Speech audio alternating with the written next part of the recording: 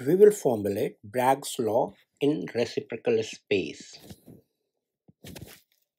This is a vector form. You can also call it vector form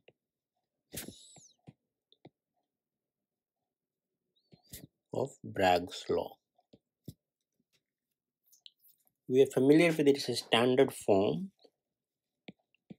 Lambda is equal to 2d sine theta. This is the scalar form and this is in real space. Let us put the subscript HKL on D. So this is interpreted as you have real space planes. Let us call them the HKL planes and you have an incoming wave of wavelength lambda and you have an outgoing wave again of the same wavelength and as per Bragg's law they make equal angle with the plane. So both of these angles are theta the incident angle and the angle of the diffracted wave. So let us call this an incident wave. Let us call this the reflected wave. And then since this is not a normal reflection but actually a result of diffraction so a diffraction condition has to be satisfied so theta is restricted to values which will satisfy lambda is equal to 2d HKL sine theta where DHKL is the interplanar spacing. Now, to couch this law in the vector form or in the reciprocal space, all we need to do is to introduce a vector, incoming wave vector, and let us call that, let us call that ki. And the wave vector is a vector of uh, length the length of the wave vector is reciprocal of the wavelength 1 by lambda and the direction is the direction of the incoming wave. Similarly you have the reflected wave. You have the reflected wave vector. Let us call that kr and of course since uh, in Bragg's law we are considering elastic scattering the two wavelengths are equal. So the length of these two wave vectors are also equal. So kr also is equal to 1 by lambda. Mod of kr is also equal to 1 by lambda. Now to formulate this law in reciprocal space, we need a quantity which is the difference or the scattering wave vector which we define as delta k. So delta k is nothing but the reflected wave vector minus the initial wave vector kr minus ki. So to construct that let us uh, take a vector from here I'm geometrically constructing delta k so I go parallel to ki but in the opposite direction. So this vector will be minus ki so obviously by the triangle law of vector addition I get delta k vector as this vector. This will be my delta k kr minus ki now to complete the proof we require a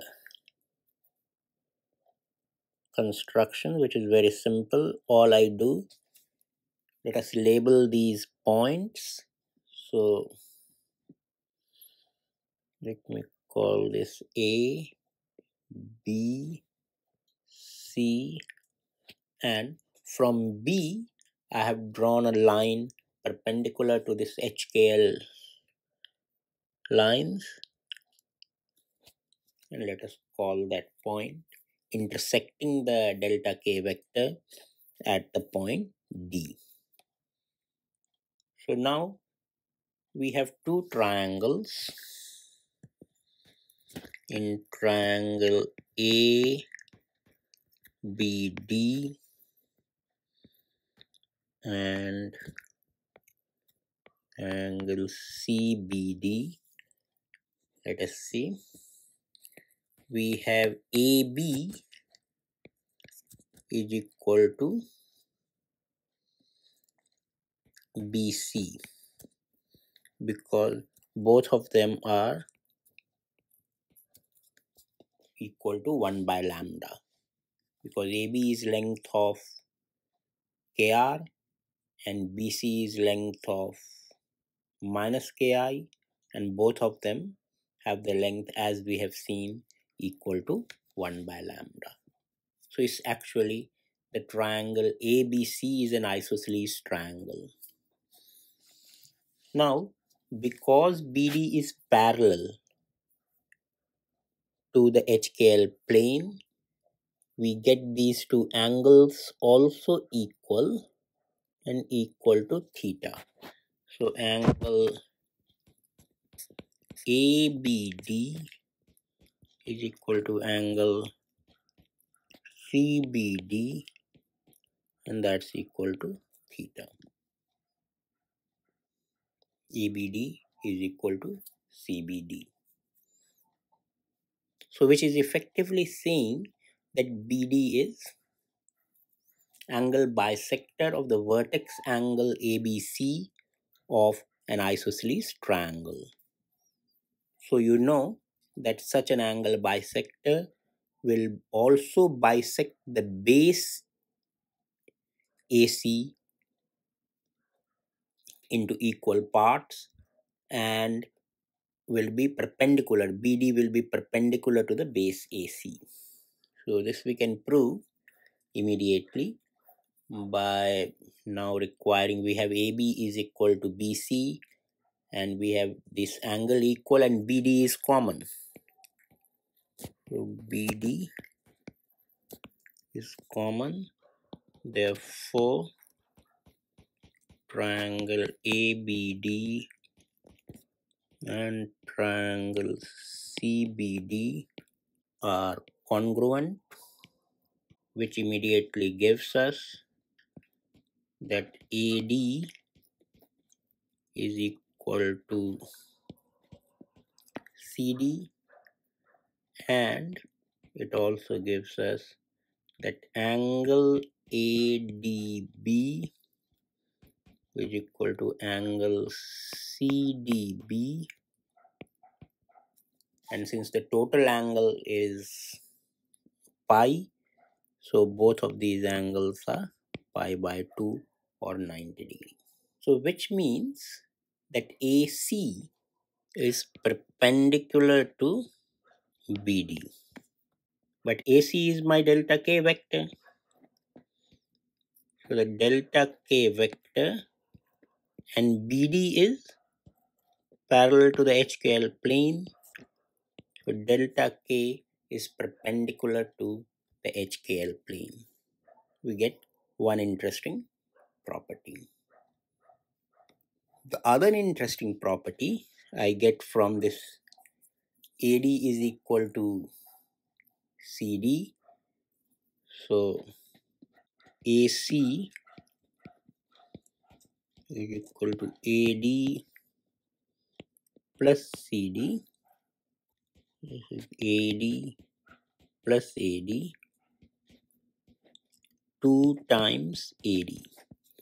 But if you look at it in the triangle, ABD, AD by AB is sine theta. I write here. Also AD by AB is sine theta. AD is AB sine theta. So I use that. So 2 AB sine theta. But AC is delta K. So length of AC is mod of delta K. So delta K is equal to 2 AB sine theta. But AB is the length of KR. So 2 mod KR sine theta. The wave vector has length lambda, lambda sine theta. And now I use the Bragg's law for lambda. So lambda is equal to 2d HKL sine theta. These quantities cancel and I get a nice relationship that delta K mod is nothing but delta K HKL. Now look at these two properties. Delta K is perpendicular to the HKL plane and now we are saying that mod of delta K is HKL. So property 1 and property 2. But these two properties are exactly the property of reciprocal lattice vector G star HKL. G star HKL is a vector in the reciprocal space HA1 star plus KA2 star plus L A3 star where A1 star A2 star and A3 star are reciprocal basis vectors and this G star HKL exactly has these two properties. The G star HKL is perpendicular to HKL and G star HKL mod is equal to 1 by DHKL. So comparing these properties with the properties of delta K, we see that delta K is nothing but G star HKL. Delta K nothing but G star HKL and this is the vector form of Bragg's law in the reciprocal space. Now how ju- just to conclude means we have already made the derivations just to conclude this let me reiterate this fact that we now have if we look at Bragg's law